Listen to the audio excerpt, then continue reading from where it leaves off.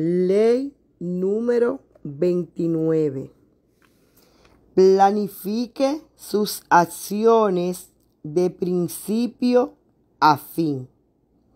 Criterio.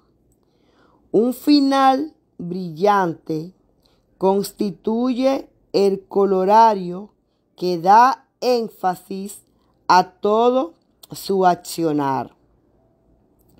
Planifique su camino teniendo en cuenta todas las consecuencias posibles.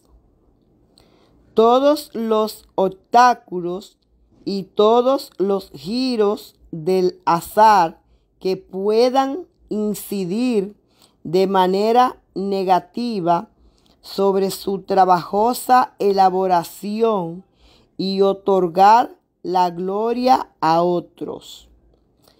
Planificar todo un proceso de principio a fin evitará que lo abrumen los factores negativos y le permitirá saber con exactitud cuándo detenerse.